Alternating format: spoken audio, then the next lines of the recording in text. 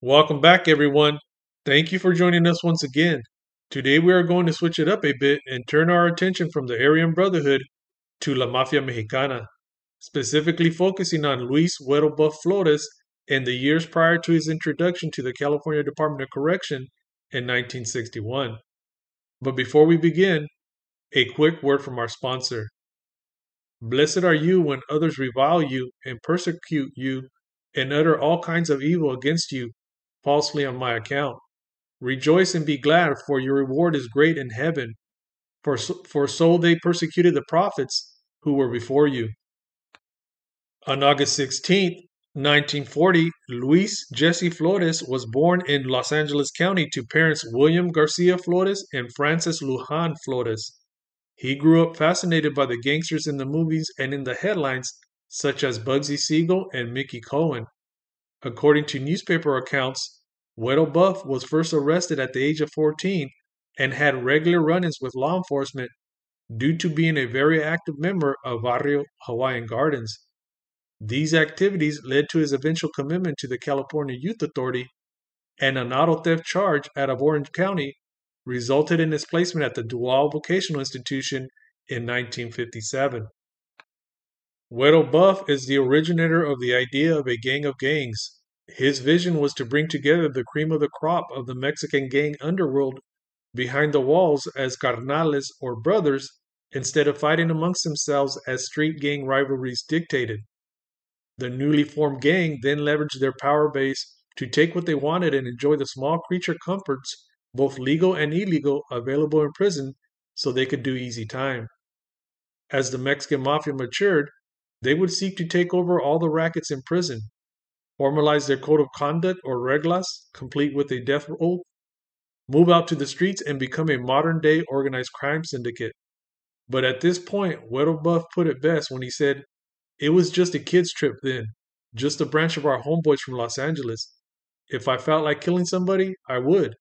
If I didn't, I wouldn't. We were just having fun. The power we enjoyed was intoxicating. Although Güero Buff was the originator of the idea of a super gang, he was not the shot caller or boss of the gang. Güero Buff was wise enough to realize that men of this caliber and ego would never allow themselves to be subservient to anyone. All members or carnales are of equal status, and the gang is governed by a democratic system whereby each man has an equal vote. Güero Buff knew the future of the gang was in the adult prison system and advised his carnales to get into the adult system as soon as possible and begin establishing their power base as they did in DVI. Up until 1958, no wards or convicts had died or been murdered at DVI. The first two deaths were of wards that took place during escape attempts. Dennis O. Brown, age 19, was shot off the fence and died on February the 17th, 1958. And James R. Hess Jr., age 19, was shot off the fence and killed on May the 26th, 1958. But the first murder of a ward or a convict took place on June the 17th, 1958. This first murder coincided with the Mexican Mafia's first steps at organizing themselves behind the walls. On June the 17th, 1958, Luis G. Martinez, age 19, convicted of armed robbery and narcotics out of Los Angeles, was fatally stabbed. Angel R. Nino, age 19, convicted of grand theft out of Los Angeles, was stabbed non fatally.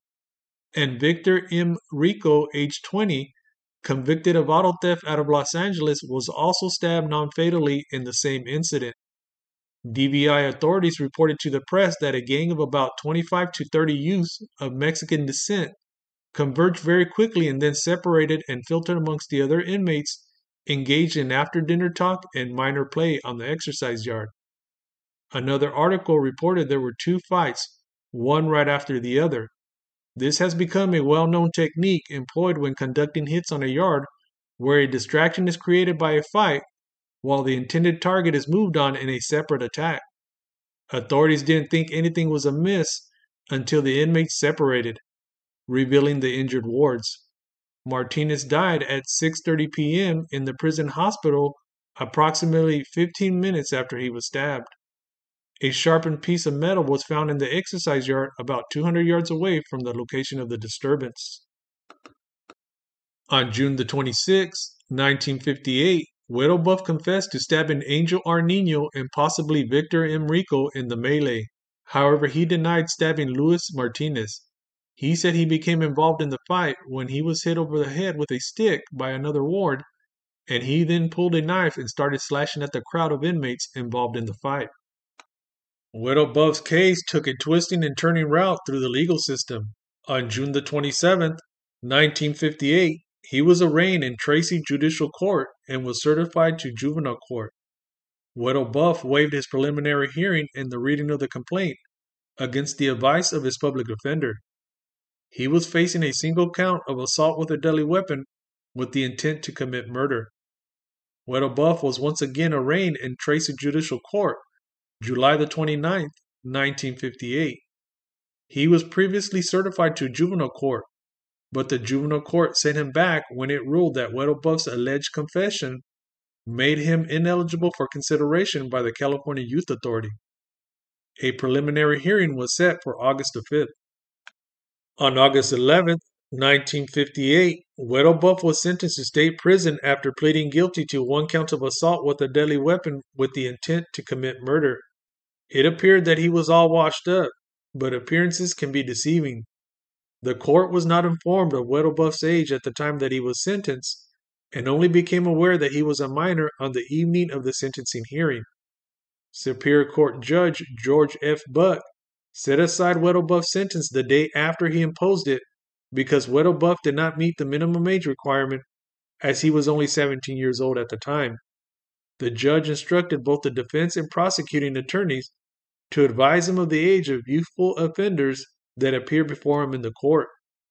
Güero Buff's case was referred to the probation department for a report to be submitted on August 25th. Furthermore, the judge asked the California Youth Authority to decide whether it would accept Buff for placement. He also ruled that if the CYA rejected him or did not accept him within 15 days, Güero Buff was to begin serving a state prison sentence term. On September the 16th, 1958, the California Youth Authority notified the court that it would accept Güero Buff and designated DVI for his preliminary detention assignment. He no doubt was welcomed back by his brothers with open arms, and they continued establishing La Mafia Mexicana's dominance at DVI. But this was not the last impact this incident had on the fellas. It continued to bear fruit in the form of violence behind the walls, and it followed the inmate into the adult system but I'm jumping ahead of myself. By 1960, Güero Buff was paroled from the CYA and was back on Broadway doing his thing, robbing and stealing. On the night of October the 2nd, 1960, Güero Buff, now 20 years old, and three accomplices robbed the village market in Fullerton located at 1031 West Commonwealth Avenue. The crew got away with $120 and took the wallets of two customers. The four robbers were pursued by the police as they attempted to make their getaway, and they exchanged fire with a merchant patrolman and a police officer as they fled through the upscale Sunny Hills neighborhood.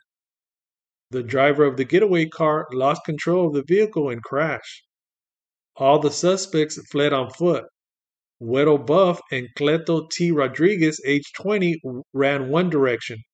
Howard Cappy Pacini, age 23, from Hawaiian Gardens, and Richard Franco, age 19, ran the opposite direction. Güero Buff and Rodriguez were captured a few hours after fleeing on foot from the wrecked vehicle. Cappy Pacini, Güero Buff's fellow Hawaiian Garden homeboy and future EME Carnal, and Franco were arrested on October the 5th, 1960, in the Hawaiian Gardens area. Pacini and Rodriguez pled guilty to second degree robbery charges and were committed to Chino to begin serving their sentence. Franco was turned over to the CYA, and Fullerton dismissed the charges against Güero Buff due to insufficient evidence. However, he was handed over to the Gardena police for an armed robbery warrant for the October 1st, 1960 armed robbery of Leon's Market located at 15408 South Van Ness Avenue. Güero Buff did not escape this beef. He was eventually convicted of this armed robbery and sentenced to the California Department of Corrections. Güero Buff was received at San Quentin in August of 1961. It may seem like a lengthy period between his capture on October the 2nd, 1960, and his arrival at the Big Q in August of 1961. But even at this time, the fellas manipulated the courts. By April of 1961, Güero Buff had already requested and received eight continuances five at the municipal court level and three at the superior court level. Continued delays and trickery would hold up Güero Buff's entrance into the California Department of Corrections. As noted earlier, the melee that resulted in the death of Martinez and the non fatal stabbing of Nino Enrico by Güero Buff will return to haunt the inmate, specifically Alejandro Hondo Lechuga. Hondo was born on July 8, 1940. He was Güero Buff's fellow Hawaiian Gardens homeboy and co founder of the Mexican Mafia. He too was paroled from CYA by 1960. On May the 31st, 1960, Newport Beach police battled 30 youths at Rock Point Cove. The group consisted mostly of youths from Corona and Chino High School on a senior ditch day. Sergeant William Saunders, Sergeant Dick Heineke, and Officer James Parker suffered cuts to their face as a result of the disturbance. One of the rioters was 20 year old Alex Lechuga, better known as Hondo. He was booked on suspicion of disturbing the peace resisting an officer, and assault and battery. However, it was Hondo's conviction on July 6, 1960, for possession of marijuana that punched his ticket into the California Department of Corrections. Hondo was received at Soledad Prison in September of 1960.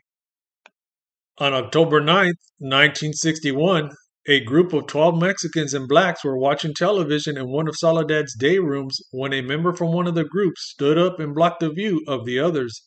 This action sparked a brief but intense clash between the groups that lasted three to four minutes before guards were able to break it up. The inmates used chairs, fists, and one wielded a straight razor. Three convicts were, wound- were wounded by razor slashes, but two only received minor injuries. Hondo was the third inmate who suffered the most severe slashes from the straight razor. His attacker slashed Hondo on the side of his head, one at the back of his head, and other minor cuts to his body. Hondo was taken to the hospital for treatment and was listed in good condition. Prison officials found the straight razor, which they believed was stolen from the barber shop. The administration suspected that although the fight was sparked by the issue over the television, the men involved had a long standing dispute. This was most likely a continuation of the ongoing struggle between the Chicanos and the blacks to assert themselves as the hogs with the biggest balls behind the walls. Sometime after this incident and before February the 27th of 1962, Hondo was transferred to San Quentin. On February the 27th, 1962, he was stabbed in San Quentin's Adjustment Center by Angel R. Nino. This is the same Angel R. Nino that Güero Buff pled guilty to assaulting on June the 17th 1958 on the DVI exercise yard. It appears that Nino had a long memory and wanted some payback. He would go on to be tried two times for the stabbing of Hondo, and both times the trials ended in hung juries voting 8 to 4 in favor of acquittal. The district attorney would not seek to try the case a third time. After the two trials, he recommended to the Marin Superior Court judge that the case be dismissed, which he promptly did so. Although the Mexican mafia likes to portray itself as the protector of the Chicano convict population, aka La Raza, as you can see from the melee on June the 17th, 1958, some of its first victims were fellow Chicanos. If you weren't part of the clica, you were fair game because as the MS Code of Conduct clearly spells out, the mariposa comes first before everyone and everything else, hasta la tumba, or until the wheels fall off. Well, I'd better end it here before Mundo finds out I'm encroaching on his turf and puts me on the lista for a one way trip to Brazil. Stay tuned for more revelations about early inmate history. Good night and God bless.